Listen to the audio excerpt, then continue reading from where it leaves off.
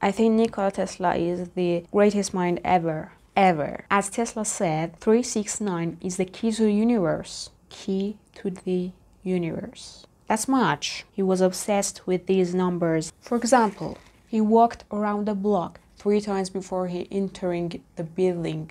He chose only the hotel rooms which had its room number divisible by 3 and he would wash his dishes with 18 napkins only. The significance of number 3 isn't known just by Tesla.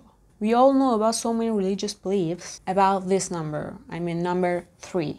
For example, Holy Trinity, God, Jesus, and Holy Spirit. And these are all in Bible. Or Egyptian mythology. Egyptian mythology featured three gods that represented heaven, earth, and Apis. Okay, and I'm gonna talk about Nikola Tesla 369 theory. In vortex math, if you follow a specific pattern, like this image, you can start with 1 and doubling it, and after that, doubling 2. So 1 plus 1 equals 2, and 2 plus 2 equals 4 and you can continue until you get 1. This is like a vortex. It means that you started with 1 and you will end the vortex with number 1.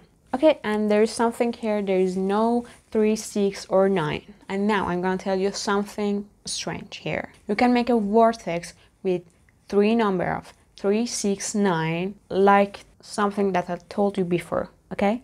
Look at this, 3 plus 3 equals 6. 6 plus 6 equals 12. 1 plus 2 equals 3. See?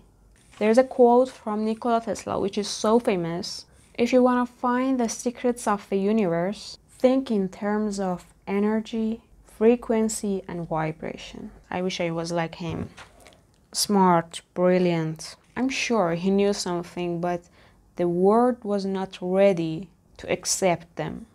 Rest in peace, Tesla. You deserved more. So, did you enjoy the video? I hope you did. Thanks for being with me in this video and watching it. Stay safe, take care, and love yourself. Bye.